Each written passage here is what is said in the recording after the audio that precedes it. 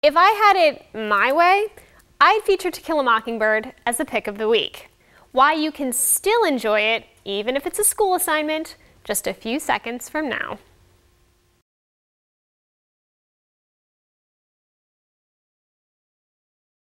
I hesitate to say that you should love this book. So let's say can.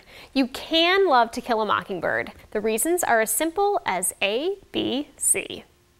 Atticus, Boo, Calpurnia, Dill, Empathy, Faith, Goodness, Hope, Innocence, Jem, Knotholes, Laugh Out Loud Moments, Mockingbirds and Miss Maudie, Nutgrass, Optimism, Pork, The Quaintness of Small Town Life, Rabid Dog, Scout, Tom Robinson, Understanding Values, Walter Cunningham, exceedingly well written. In fact, you won't find another book less inclined to make you go zzz. Didn't quite catch that?